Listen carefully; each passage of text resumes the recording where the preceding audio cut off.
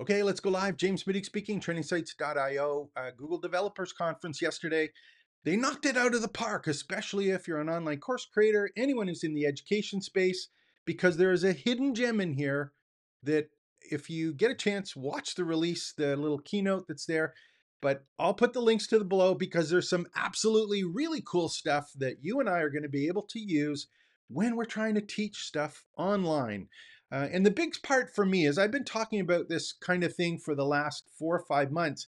As I played around with all of the experimental stuff Google's been doing at the developer conference, this is all coming into one space, one wonderful ecosystem that Google has that is going to allow us to completely streamline how we create content, not just text, but multimodal. And I think the best thing to do is to show you right away something really cool that they did as a demo. And I'll put the links to these demos, but I want to show you what happened because this is absolutely going to blow your mind. What am I talking about? Well, I'm talking about live video with in our case, dialogue. And she commands your awe with every breaking light. This ocean, it's a force, a wild, untamed might. Okay, just think about that for a second. This video and the dialogue was created by Veo 3, which they announced yesterday. Uh, and here's the prompt right there.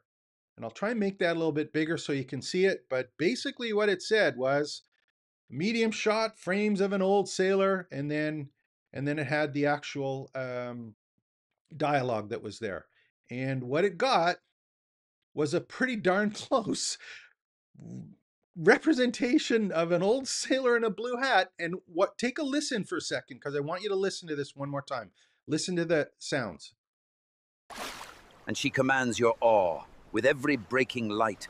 This ocean, it's a force, a wild, untamed. Did you hear that in the background? They had the dialogue, plus they had the background sound. Now, this is Veo 3. It was announced. It's available. There is a cost for it, obviously. But just start thinking. We've been talking about all of this multimodal stuff. Uh, and if you remember correctly, I'll put some of the links to the other videos that I did. But this is the exciting part. All of the multimodal stuff is starting to come into play now. I did a number of videos uh, about aistudio.google.com and one of the things that they had was his ability to stream live with Gemini and basically be able to talk to it, be able to show your screen and be able to show your video camera and the AI having or being aware of all of this. So this stuff is all becoming available now and it's all in one place. And the big thing for us is our ability to create visual content over and above just doing a text prompt and getting a response about a syllabus. Um, the ones that I looked at earlier, some of the different examples that we had that I've gone through uh, in other videos, you know, things like TextFX and uh, VideoFX was one of them. Things about Notebook LM and uh, YouTube Talk to Images. So they had a whole bunch of stuff that they've been doing, but now it's actually live and available. And the one for us to watch is we had Veo 2, which is the one I showed a demo on, and that was the one where you just had a text prompt and it created a video. Now we have Veo 3, which allows you to do a text prompt plus the narration, and it adds the narration and any appropriate background sounds to the video so that we've got a full-fledged videographer now on staff being able to make these videos. Now, I'm not going to try and snow you and say everything's perfect, it's ready to go. No, it's not. Is there stuff that doesn't work properly yet? Of course. Is it getting better each and every month? Yes. Is there still a cost to it? Yes. Is there still some limits on the length of videos? Yes. However, however, this is not going to get worse and it's not going to get harder. Pay attention, watch what's happening here. Look at some of the videos and start thinking, hey, how can I use this? If I'm going to create a course where I want to teach someone something, do I need to have just in case learning and create videos and content and all of this stuff just in case they want to learn it? Or can I start looking at these AI leveraged ideas, taking what I already know, love, and do, and use these tools to create just in time learning? Using text prompts, putting together pieces, and having content created that we can then use to actually teach people and get people from point A to point B. I'm going to show you kind of the big things that changed on the video end because that's the part that I'm excited about. There's more obviously than, um, you know, they had a whole bunch of additional uh, stuff that was announced. Uh, one of the cool ones, actually, I'll just talk about this because it makes sense. Not makes sense. It's really cool for for us if we're actually in the teaching space. Um, they had this one, and I saw a little bit of a demo on it, uh, but this one is called Google Beam. Uh, and this one was cool because it was like a whiteboard that had some cameras on it.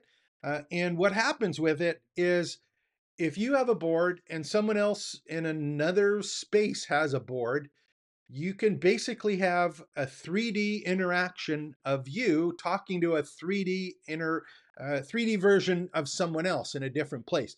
So this is the literal virtual meeting where it's not just you and a camera, it's like you moving around in a space live in real time, three dimensional. So they did a demo of that one, which is really cool. That one's off in the future, but just imagine you're teaching something, you have to show something. Uh, you turn to the side, you turn it to the side, you move stuff. You've actually got a virtual representation of yourself uh, somewhere else. Uh, Veo 3 has a dialogue and sound. I just showed that to you. And all of these ones with Veo 2 and Veo 3, uh, for all of the ones that are involved with video, here's the part that I, I think is really important. I'm going to go over these just a little bit so that you kind of keep them in the back of your mind. The first one is consistency. Uh, the big problem with all of these when they started out was that if I did a prompt one time, or I had an image one time, and then I tried to use it again in another video or added it to another one, it was like completely different. So, you know, if you had to stitch together a couple of these blocks of generated videos to get it a little bit longer, it was like you had one version here and one version there. It was really hard to do, didn't work well. They've I, I am not going to say it's fixed, but it's like 99% better than it was before. The other thing is, is anytime these were used before, there was no camera controls. So what that means to you is it's like always one position, uh, no zoom, no pan, no move to the side, no move to the right. It was like fixed positioning. That is available now. Objects. I'm going to show you some of the ones in objects. What that means is that you can take an object and add it to a video or another image. Uh, and you've probably seen this kind of on any of the Google phones, right? The smartphones, the Android phones. Google has shown this, but it's now in videos and allows us to be able to do that. Um, and it's not limited to text to video. They also announced something called Flow, and the difference between Veo 3 and Flow is think of Veo 3 as creating the individual video. Think of uh, Flow as being the filmmaker and putting this all together. So image to video, video to video, adding objects, character controls, uh, ingredients to video. I'll explain that in a second.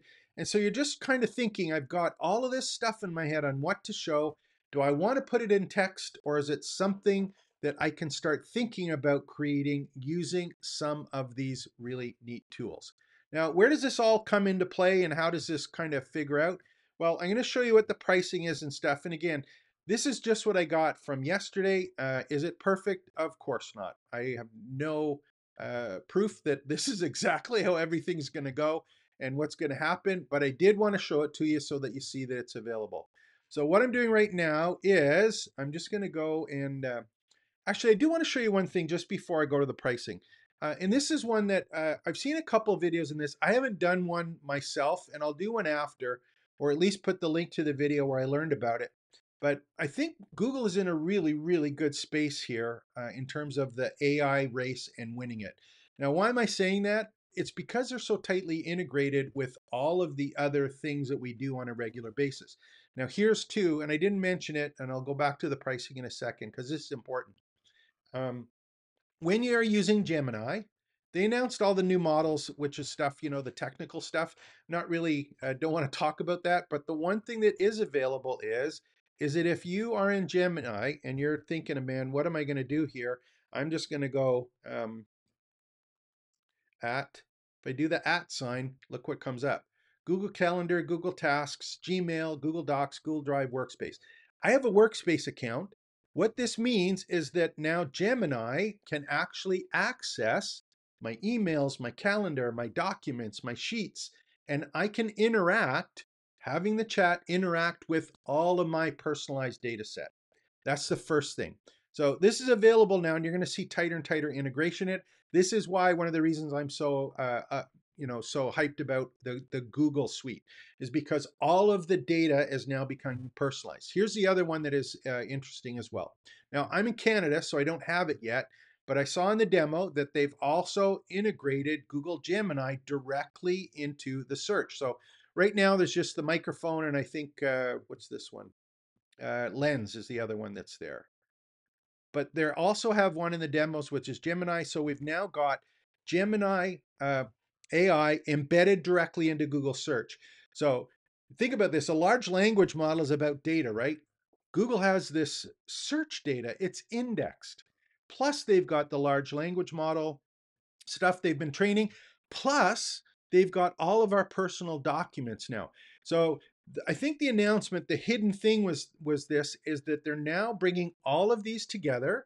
They're personalizing it, allowing it to be built on our data to make it personalized and consistent amongst the responses that we get. Uh, and this stuff is all kind of happening in the background slowly, but it's all coming together. And that's one of the big reasons that I'm kind of excited about it. So we've got Google AI with all our docs and stuff. We've got Google search here. And then now we've got all of this video content that we're able to create with Gemini. And here's the part that I don't understand, but just to be aware of it, here's where we're at right now. Uh, I went with my uh, Workspace account. I tried to sign up, uh, and it said, "Hey, we're currently signed in with my Google Workspace account. To get Google One, switch to your personal account." And I was going, "What the heck's that about?"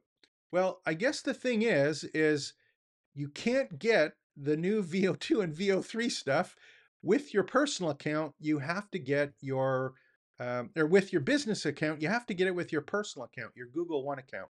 So I'm going to open Google One and I'll switch to my personal one. I'll open it up and then let's go take a look. So this is my personal space. And if I go click on the left-hand side here, we'll open it up. There's one called Google AI. I'm going to click on it. And these are the ones that are available. These are the ones that are available today.